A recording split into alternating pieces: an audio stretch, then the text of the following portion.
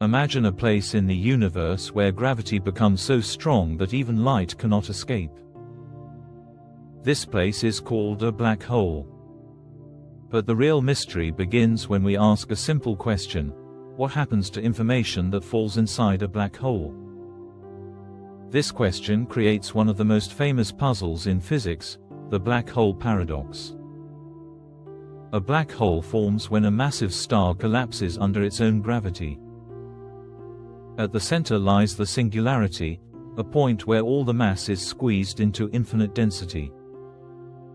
Around it is the event horizon, the point of no return. Once something crosses this boundary, it can never come back. According to Einstein's general relativity, anything that goes inside gets lost forever. But according to quantum physics, information can never be destroyed. This creates a contradiction, a paradox. In the 1970s, Stephen Hawking discovered something shocking. Black holes are not completely black. They slowly release energy called Hawking radiation. Over billions of years, this radiation can make a black hole evaporate. But here comes the mystery.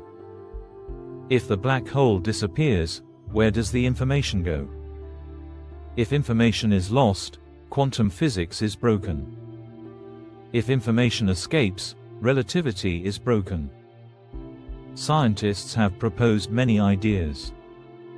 One idea says information is stored on the event horizon like a cosmic hologram.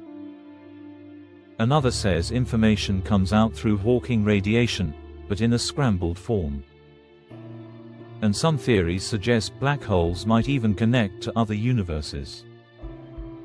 Today, the black hole paradox remains one of the biggest unsolved questions in physics. Solving it could unite quantum physics and gravity, and help us understand the deepest secrets of the universe.